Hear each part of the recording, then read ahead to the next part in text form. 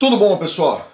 Fizeram uma manutenção aqui no escritório, então nós vamos ficar aí até amanhã sem internet. Eu vou aproveitar para já gravar uns três vídeos aqui para a gente já, já gravar um, um, alguns roteiros que eu tinha já separado para essa semana. Então vocês vão me ver com a mesma roupa, eu vou gravar um na sequência do outro. Eu acho que vai ser bacana porque a gente já antecipa também e eu vou ter que ficar aqui umas quatro horas esperando eles fazerem o a passagem aí do, do fio de fibra ótica, né, o cabo de fibra ótica. Então eu já vou aproveitar para ir gravando também e ganhando tempo nessa semana, tá bom? Nós temos alguns assuntos aqui super importantes para falar. Um deles é esse daqui que está na minha mão. Foi um caso que me fizeram uma pergunta num, numa caixinha de perguntas. Essa pessoa, logo depois que ela fez essa pergunta, ela entrou em contato, marcou uma reunião e a gente conversou sobre essa questão, tá? Então eu vou trazer aqui um caso totalmente atípico. Peço a vocês que prestem muita atenção nisso. Eu venho falando muito sobre essa questão de revogação de green card. Não foi esse caso aqui em específico, tá? Ele ainda está numa outra situação, num outro nível. Eu vou explicar o caso inteiro para vocês. Mas prestem muita atenção nessa questão de revogações de green card. Nós tivemos aqui é, situações semelhantes a essas, onde pegam aí duas, três empresas que eles estão vendo que tem coisa esquisita acontecendo é, e a imigração começa a revisar todos os processos. Nós, nós vimos um caso desse, eu não vou falar o nome da pessoa, nós vimos um caso desse em 2007, igualzinho, nós vimos outro caso igualzinho em 2013 e agora nós estamos vendo essa situação. Tá? É, coincidentemente também, na, na época quando eu fiz o vídeo, faz umas duas semanas mais ou menos, diversas pessoas entraram em contato conosco e porque ficaram preocupados para saber se era empresa X, Y, Z. Eu não falei o nome de ninguém, nem a minha intenção falar esse tipo de coisa, eu deixo que as autoridades cuidem disso. É, mas uma pessoa criou uma lista de diversos processos que foram revogados. Eu vou deixar aqui na descrição. Algumas pessoas é, até entraram em contato comigo dizendo que a, a, tal da empresa tinha dito que eu tinha criado aquilo para sei lá qual razão.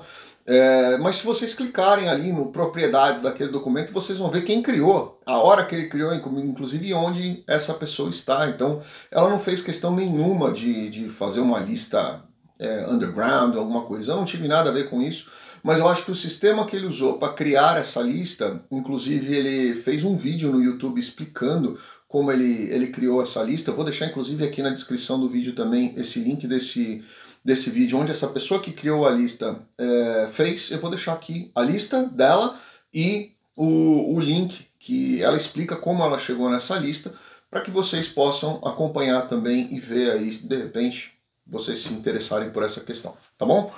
Mas vamos lá, o que, que aconteceu? Essa pessoa aqui entrou em contato comigo e ela me trouxe esse, essa seguinte situação porque ela recebeu o green card dela e meses depois ela recebeu uma RFE. Olha que curioso isso. Meses depois, seis meses depois que ela recebeu o green card, ela recebeu uma RFE.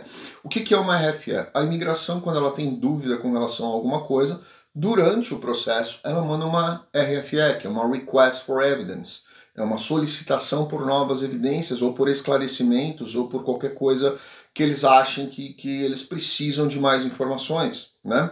Mas começaram a mandar RFS depois do Green Card já emitido.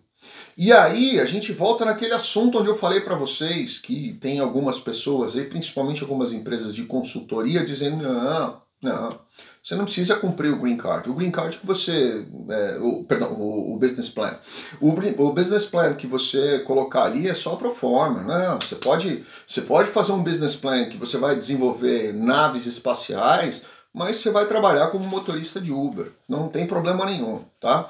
Isto é sacanagem. Isto é picaretagem. Isto é fraude, certo? Mas as pessoas só aprendem depois que elas tomam a pancada. Então vamos lá que eu vou contar essa história aqui para vocês. Uh, essa pessoa aqui, ela aplicou o processo com um escritório X, não interessa quem é, em janeiro de 2021, certo? Ela teve a aprovação dela do processo em março de 2022. E ela recebeu o green card dela, fez a entrevista, e aí ela recebeu o green card dela em mãos em outubro de 2022, ou seja, janeiro de 21 ela aplicou, março de 22 ela teve a aprovação, e outubro de 2022 ela teve o green card em, em mãos, dela e da família, certo? No meio disso teve uma RFE, mas eu não anotei a data aqui. Ocorre que no dia 30 de maio de 2023, ou seja, ela recebeu o, o, o green card dela em outubro de 22. Novembro, dezembro, janeiro, fevereiro, março, abril, maio. Sete meses depois que ela recebeu o green card, ela recebeu uma RFE com prazo de resposta de 90 dias, solicitando para ela comprovante do endereço da empresa onde ela disse que ela abriria no business plan. Presta atenção. Pediram diversos documentos, eu solicitei uns aqui, tá? É, eu só marquei alguns aqui que eu acho que são. É ali onde está o a peneira. Contrato de trabalho de todos os empregados já contratados, se houver. Eles escrevem aqui, se houver. Demonstração da capacidade financeira para implantação do business plan nos próximos 18 meses. Curioso isso, né? Eles deixaram passar seis para pedir mais um ano e meio para frente, ou seja, eles vão ficar de olho por 24 meses nessa pessoa.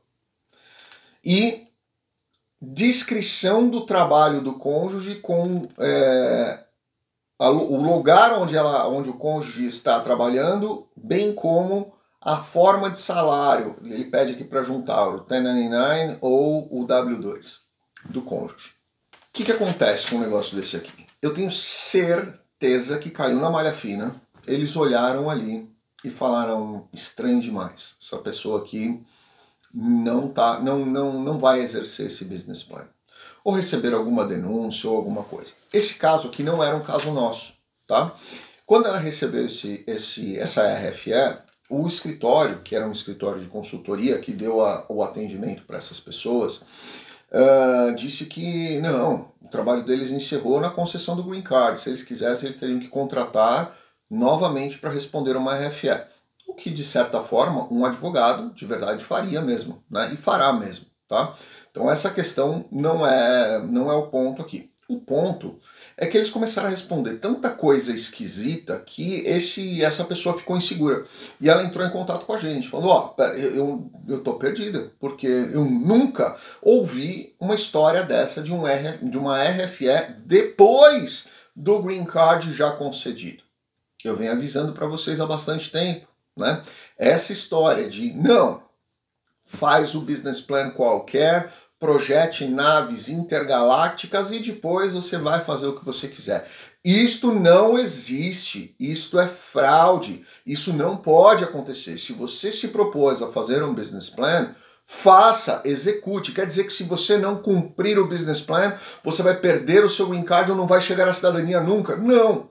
Mas eu acho que você precisa demonstrar sempre a sua boa fé. Você não disse que ia fazer tal coisa?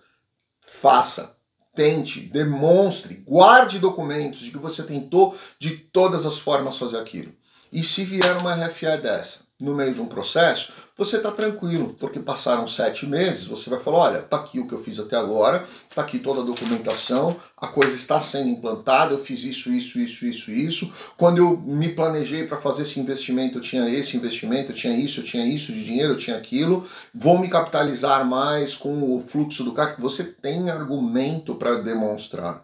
Mas se você está convencido de que você vai colocar no business plan que você vai desenvolver foguetes para a NASA e de repente você não faz absolutamente nada, recebe uma RFE dessa, oito, sete meses depois que você pegou o seu green card, onde você está comemorando ainda, você está feliz, você está tranquilo, está fazendo Uber, está montando empresa de qualquer coisa que não seja atrelado ao seu business plan, você pode sim ter problema.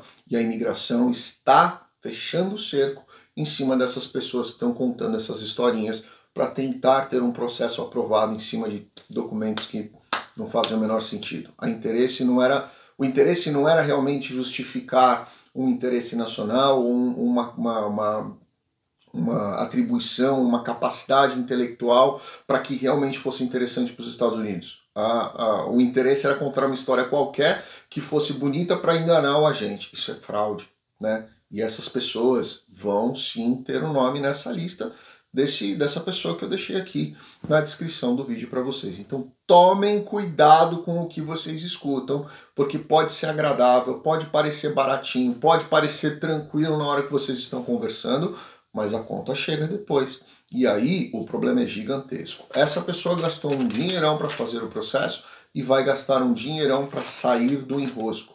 Lembrem disso, tá bom? Grande abraço, fiquem com Deus. Deixa aqui embaixo seu comentário, o que, que vocês acham disso, né? Se está certo a imigração é, pressionar realmente, fechar realmente o cerco disso, ficar realmente de olho no que as pessoas estão fazendo. Eu particularmente acho isso. Eu acho que houve aí um, um, um excesso de confiança da, da e de certa forma de, de bom coração é, da, por parte da imigração. Confiaram demais nas pessoas e infelizmente os oportunistas aparecem e vão tirando vantagem disso e quem acaba é, é, pagando a conta é o país, né? Que traz pessoas para dentro que não vêm com aquela com aquele intuito, com aquela boa vontade, com aquela com aquele coração de realmente zerar a conta e começar de novo e, e entender como funciona a cultura local. Não dá para ficar no jeitinho brasileiro quando você quer sair do país, né? Pense nisso. Deixa aqui embaixo seu comentário. Fiquem com Deus. Obrigado. Abraço.